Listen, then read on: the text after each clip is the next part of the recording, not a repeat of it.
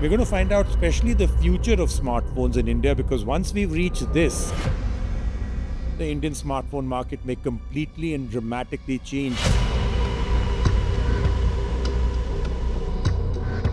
The new consumer in India is thinking about technology, not just 5G.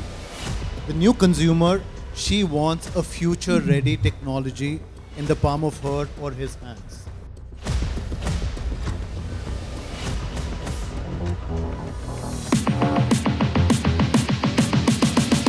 This is turning out to be one of the biggest exhibitions I've ever seen in India.